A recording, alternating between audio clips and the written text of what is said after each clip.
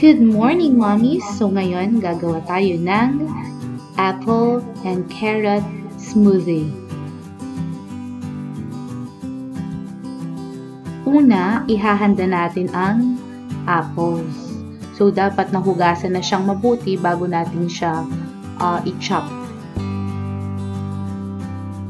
So, kung papansinin natin, large yung pagkakadice ng ating apple. So kung papansinin ninyo, hindi ko na binalatan yung apple.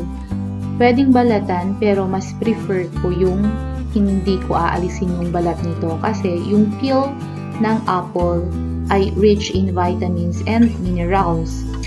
Apple peels are also rich in vitamin C na nagpiprevent ng premature aging and enhances skin glow.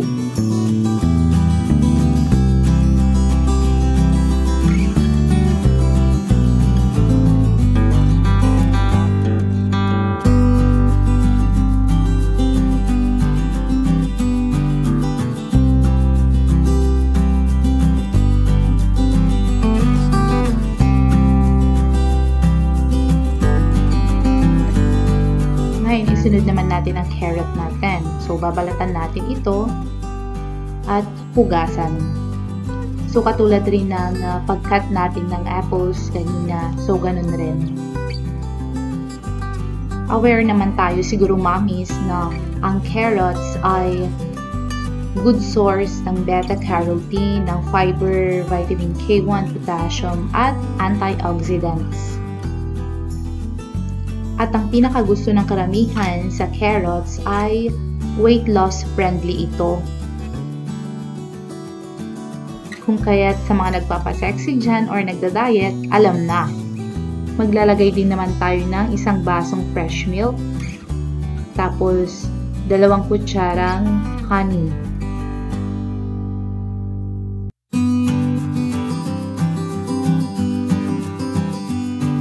So ayan mommies, nailagay na natin ang ingredients into our electric high-speed blender. And then, ang gagawin natin, blend on high for 1 to 2 minutes, stopping intermittently. At alam nyo ba, mommies, na ang apples are the perfect base ingredient to any smoothie or juice recipe kasi nga may ability ang apple to add natural sweetness, fiber, and frothiness sa mga drinks.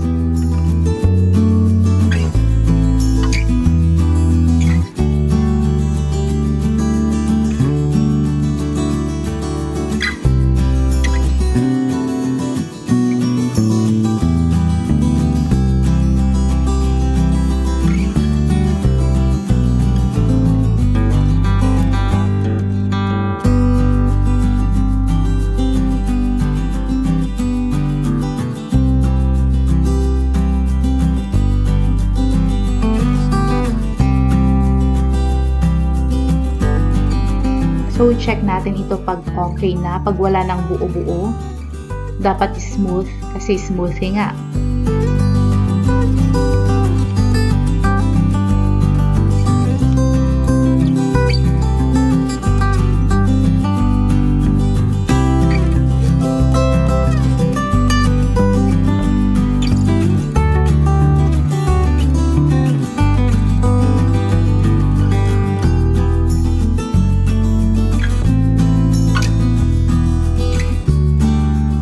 After 2 minutes, okay na siya. So, ilagay na natin siya sa isang clear glass.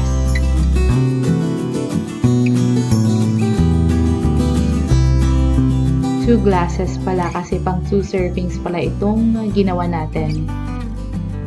So, may natira pa konti.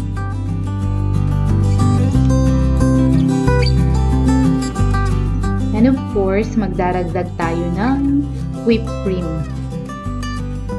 para medyo social naman siya. Pero kahit di tayo nakakalabas, parang nasa resto na rin tayo. Um, basta't kung ano yung available na nasa kusina na pwedeng pang uh, toppings, di, then yun ang ilagay natin. Ayan, we're done. So, okay na ang ating apple and carrot smoothie.